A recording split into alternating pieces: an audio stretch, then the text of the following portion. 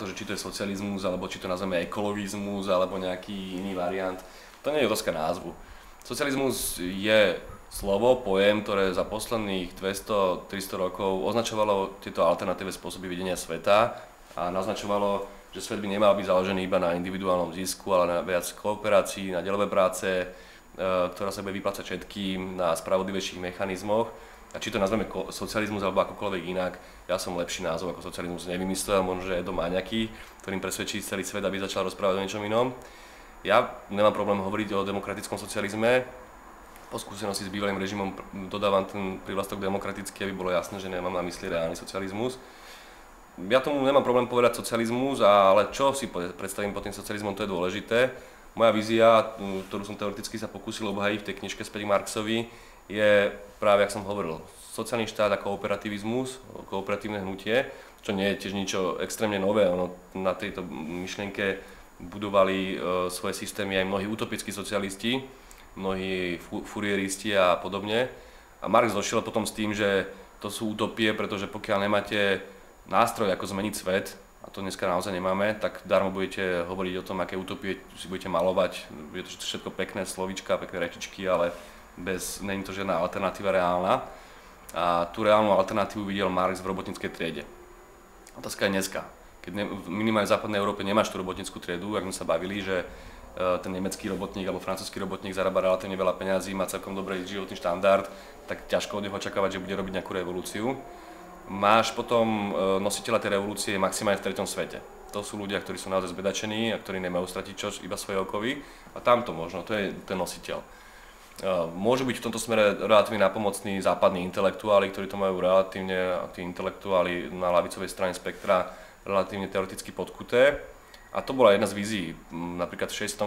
roku, keď prišlo k revolučnému pohybu v západnej Európe, tak niektorí filozofi, a medzi nimi aj Herbert Marcus, tvrdili, že tou, tým novým revolučným potenciálom môže disponovať aj to študentské hnutie.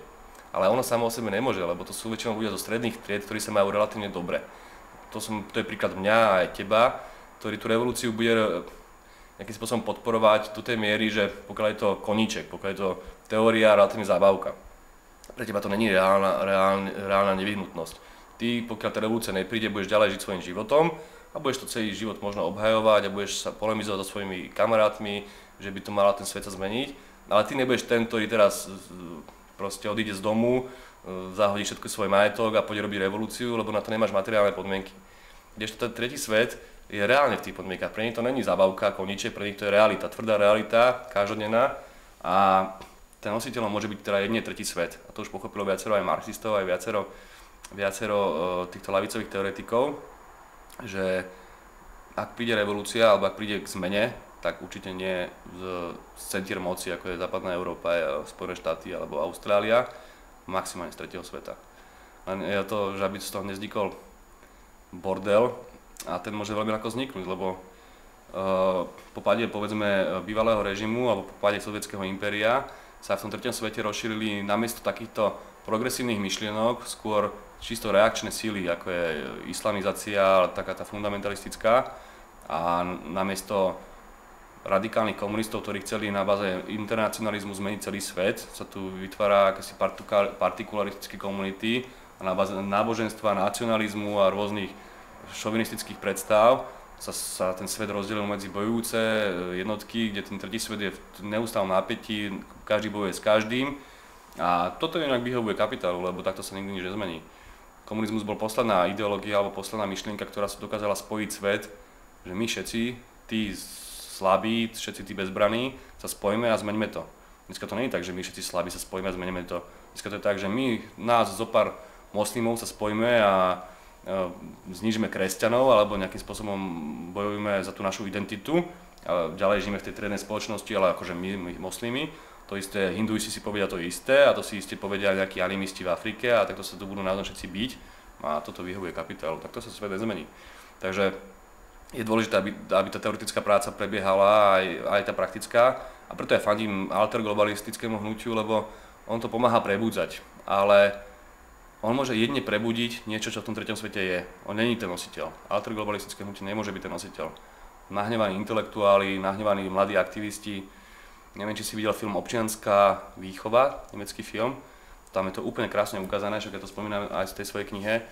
Tam ten, eh, ten buržoá starý, čo ho unesú, mu rozpráva, že on bol v 68. taký istý radikál, taký istý revolucionár, s Rudy Dučkem robili revolúcie a zrazu si uvedomil, že musel robiť kariéru, nastavil, nastavil sa mu nejakým spôsobom život a odrazu stratil tú radikalitu, nie preto, že by to mal nejaké premyslené, ale preto, že ho k tomu život dokopal. A to sa nám môže stať každému, lebo okamžite ako vidíš zo školy, tak musíš začať zarábať.